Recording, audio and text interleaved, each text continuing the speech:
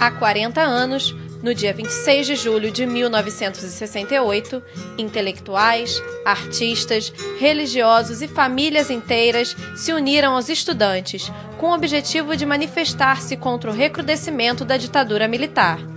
O grito que ecoou com a morte do estudante Edson Luiz ganhou força na voz de mais de 100 mil pessoas.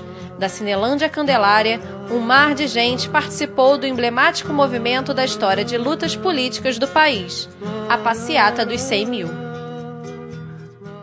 No contexto das celebrações dos 40 anos de 1968, as alunas do Bacharelado em Dança da UFRJ realizaram no centro do Rio a Intervenção Urbana 2008 Dança 1968.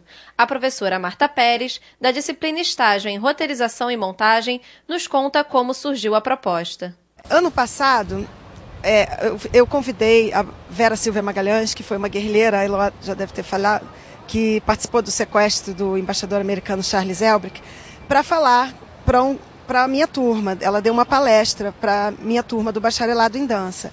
E as alunas ficaram muito impressionadas com a presença dela, e isso me fez perceber o quanto as pessoas desconhecem a história recente do Brasil. Como eu ministrei a turma de roteirização e montagem, eu propus não falar exatamente do, da questão da Vera, mas ter 68 como um tema, como um ponto de partida. Conversamos com a aluna Eloá Teixeira, do sétimo período do Bacharelado em Dança da UFRJ, para sabermos como o grupo construiu o trabalho.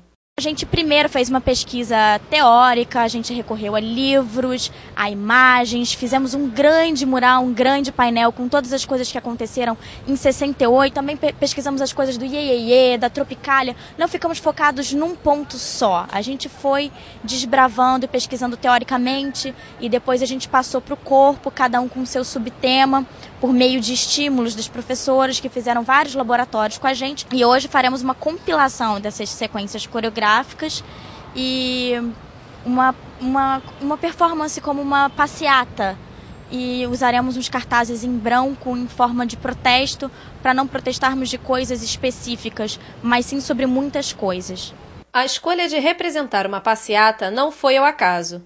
Durante o regime militar, a passeata foi o recurso mais utilizado pelo movimento estudantil como forma de protesto em favor da liberdade. Foi através das manifestações de 1968 que os jovens se posicionaram como sujeitos importantes no processo político e cultural do país.